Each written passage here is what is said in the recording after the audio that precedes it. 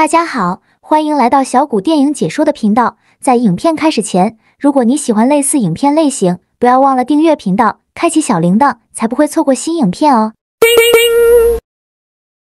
科学家研制出可令人类大脑深层力量释放的工具 Power Glove。警队各部门分别挑选了百名精英作为测试者，在芸芸的测试者中，只有 Dark 风雷和战念一三人才能成功承受及控制 Power Glove 所释放出的大脑深层力量。测试后的当晚，野心勃勃的战念一竟偷去其中一套 Power Glove，因触动保安系统，将在场的科学家一一杀光。而风雷首先赶至，眼见战念一带着 Power Glove 逃走，不但没有阻止，反而心里有所犹豫。Dark 等众人随后赶到。并误认为风雷与战念一合谋偷窃 Power Glove。Dark 立刻载入 Power Glove 对付他们。经三方连场混战之后，Dark 欲向他们做最后一击，更将风雷打倒。Dark 已精疲力尽。只见一阵沙尘过后，战念一和风雷同时消失无踪。其后，战念一成为帮派赤龙军的首领。他带领已被洗脑的风雷重返香港，计划以 Power Glove 及毒气展开他侵吞世界的庞大计划。警方获悉此消息后，本欲采取措施，可是苦无机会。已成为总督察的 Dark 感到头痛不已。山之光与 Jazz 二人自幼习武，喜欢锄强扶弱，更在擂台上结识了富有正义感的铁浪。某夜，众人前往的士高玩乐，为了营救少女 Erica，与赤龙军图结怨。赤龙军教主派出风雷网拳馆滋事，风雷将任意杀死，且将阿飘掳走。Dark 乘此机会找山之光相助，更告知风雷乃是其失踪了念多年的生父。为了营救阿飘，山之光决定潜入赤龙军基地，却被战念一发觉，更命令风雷向山之光出手。山之光知道面前之人乃是自己父亲，痛苦之极，也不敢还手。由于 Dark 知道自己时限将至，即再没有能力与战念一决战，故将重任托付于铁浪。战念一之计划被山之光及铁浪二人破坏，决定将毒气立刻释放，毁灭世界。山之光与铁浪奋力与其周旋，要阻止他的阴谋。